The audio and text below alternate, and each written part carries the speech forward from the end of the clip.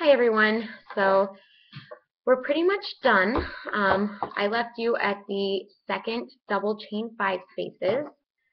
This is what your poncho should kind of resemble or look like now.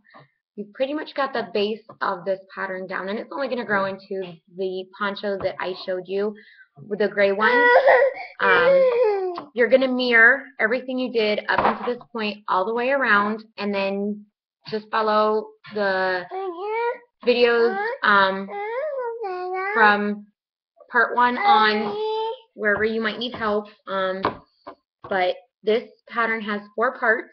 Your chain five, space, single crochet, chain three, single crochet, chain three, single crochet, chain three, single crochet, chain five.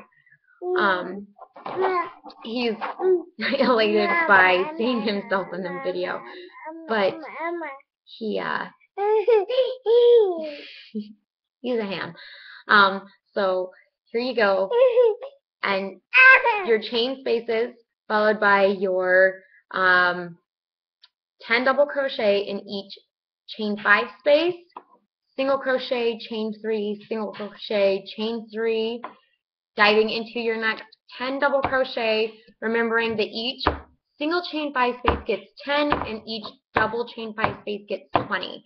Um, after that round, you're going to double crochet into each of the 10 double crochets in each of the chain 5 spaces and you're going to double crochet 20 into the double the um, double 5 chain spaces creating what I like to call the uh, spooky they look to me they look like skeleton eyes um, and then you will do on the fourth round the double crochet, chain one space, double crochet.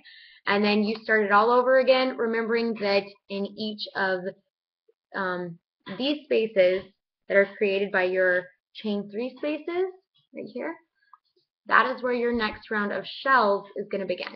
That's where your next chain five space, you're going to chain five right over that, creating these lovely little shell pieces right here that look like this.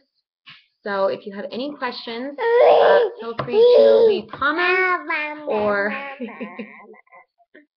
leave comments.